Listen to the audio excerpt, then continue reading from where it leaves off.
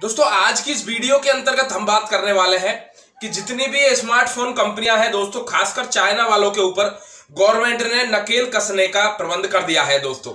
दोस्तों, एक सर्वे के अंदर अभी अभी सामने आया था कि आपका शाओमी रियलमी वन प्लस और इसके अंदर सैमसंग का भी नाम शामिल है दोस्तों। ये जो कंपनियाँ हैं, आपके यूज़र डाटा को चुराती है दोस्तों।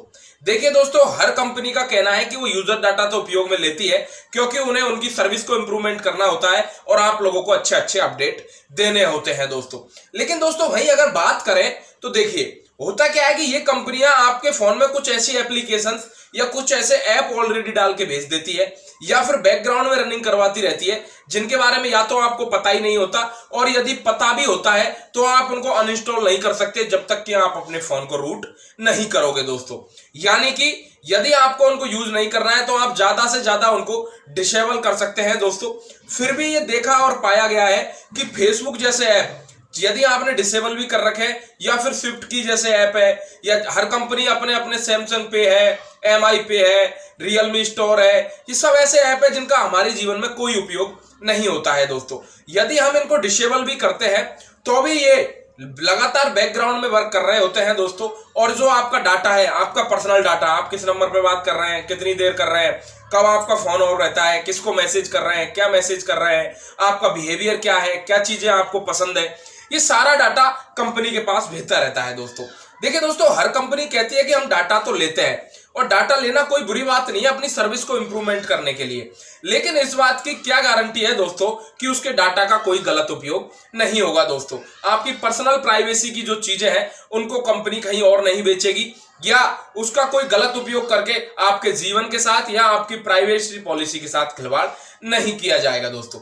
देखिए दोस्तों, आप लोगों को पता होगा कि चाइनीज़ लगभग 200 ऐप जो इंडिया के अंदर बैन कर दी गई थी दोस्तों, जिनमें सबसे बड़ा जो नाम था वो टिकटॉक और पबजी था दोस्तों, और गवर्नमेंट ने स्ट्रिक्ट फैसला लेते हुए जासूसी के आरोप में इनके ऊपर बैन लगा दिया था। हालाँकि बीजीएमआई तो इंडिया के अंदर वापस आ चुका है दोस्तों, लेकिन टिकटॉक का आना नामुमकिन सा नज़र आ रहा है। उसी तरीके से अब इंडियन गवर्नमेंट ने जो ये जितनी भी रियलमी है साउमी है वन प्लस है वीवो है ओप्पो है, इन सभी कंपनियों को एक नोटिस भेजा है और नोटिस भेजकर ये बताया है दोस्तों कि आप जो ये फालतू के ऐप मोबाइल के अंदर डालते हो, आप हमारे यूज़र्स का डाटा इंडिया के अंदर लेकर जा रहे हो तो हमें ये बताइए कि आप अपने यूज़र डाटा का करते क्या हो, इनको कहाँ लेके जाते हो, इनका क्या क्या उपयोग करते हो किन किन लोगों के साथ इसको शेयर करते हो और इस बात की क्या गारंटी है कि आप इसका कोई गलत उपयोग नहीं करोगे दोस्तों।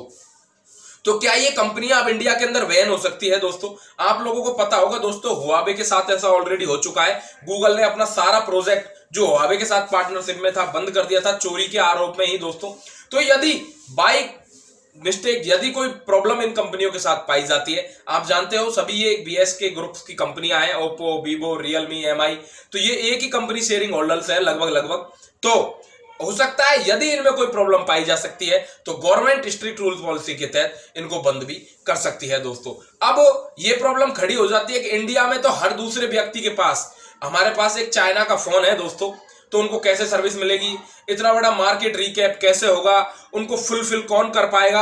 ये सारे सवाल भी बातें करने के योग है दोस्तों। लेकिन उन सारे सवालों से ज़्यादा महत्वपूर्ण है आपकी प्राइवेसी पॉलिसी आपकी प्राइवेट जीवन दोस्तों। जिसके साथ ये कंपनियाँ हो सकता है खिलवाड़ कर रही हो, कर सकती है और आने वाले समय में आपके यूज़र डाटा को बेचकर कोई और भी गलत काम किया जा सकता है दोस्तों। तो ये थी आज की नॉलेज जो कि टेक्नोलॉजी से जुड़ी हुई थी दोस्तों, इसी तरीके की कंप्यूटर टेक और टेक्नोलॉजी की वीडियोस आपको लगातार इस चैनल पर देखने को मिलती है दोस्तों। यदि आपके मन में भी कोई सवाल जवाब है तो आप कमेंट बॉक्स में लिख सकते हैं। अब मुझे दीजिए नमस्कार।